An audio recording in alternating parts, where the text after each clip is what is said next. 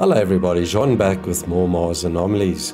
Fellow Mars enthusiast from Canada, Christine Howard, submitted this anomaly to my executive producer, Brian Dobbs, and she asked us to kindly take a look at this up close. So let's have a look at the source and then I'll show you close ups of this anomaly and some others that were found in this specific photograph. For those of you that have been following 3I Atlas, NASA has eventually decided to release their 3I Atlas data and images. They'll be doing so in a live stream later today. I'll include the link to this in the video description so you can watch it for yourselves. I think it's going to be at 3 p.m. Eastern, 10 o'clock in the evening here in South Africa. Tune in as NASA shares the latest images of interstellar comet 3I Atlas collected by several NASA missions. Hopefully, we'll see high resolution photographs of this object taken by the HiRISE camera on board the Mars Reconnaissance Orbiter. Let's see what happens.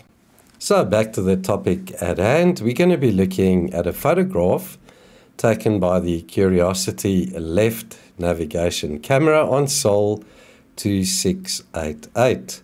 It was 2020 0227 at the time.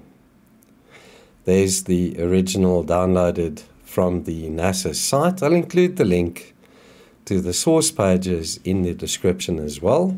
We'll be zooming in on the item that Christine highlighted for us over there to the top right. I went through this photograph and there's nothing else like this object at this site.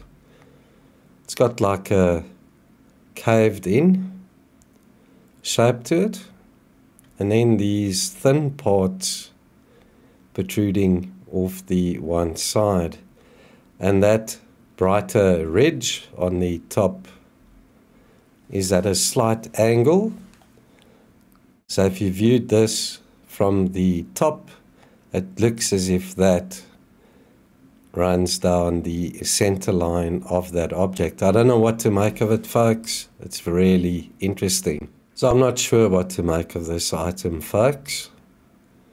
To me, it looks highly artificial. Could it be some type of wreckage?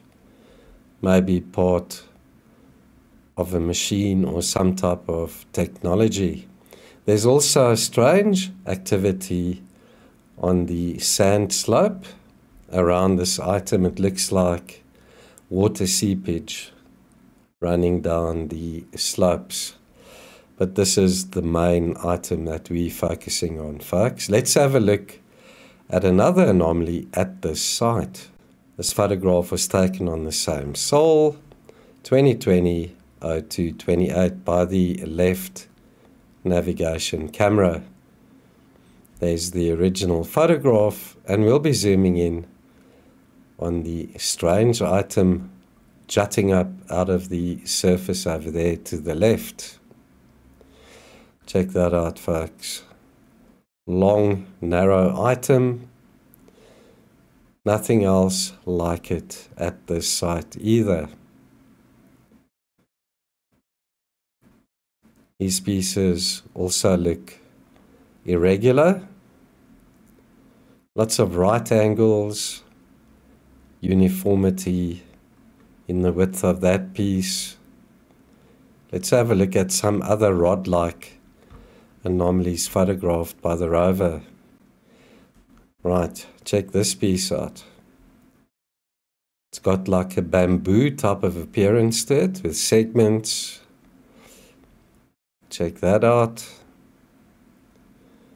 And some irregular pieces of here to the bottom. Then this strange piece sticking up out of the sand, uniform width to it as well.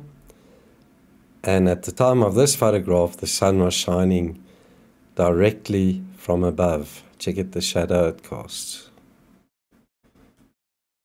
And then this strange item I compared to a fossilized horseshoe crab. Some of you have mentioned that this looks like an oiling can. It could be. Who knows, folks? So all credit goes to Christine Howard from Canada for submitting this anomaly to Brian and myself. Thank you very much, Christine. I hope this video did this item justice.